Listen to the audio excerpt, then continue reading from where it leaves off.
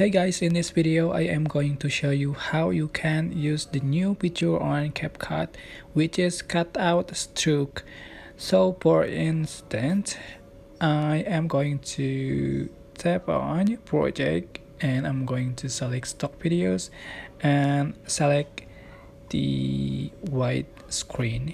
Just click add and I'm just going to add the overlay, select overlay button, add overlay and I'm going to select this photo uh, as an overlay. Just click add.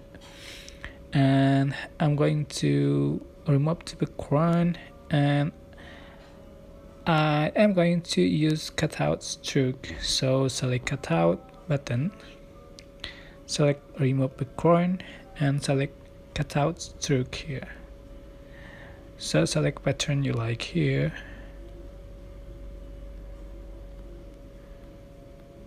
for instance I'm select this basic I'll um, sorry I'm just going to select solid color and it just body color here available. So in just for the size for the stroke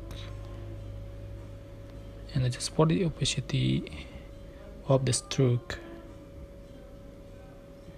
go.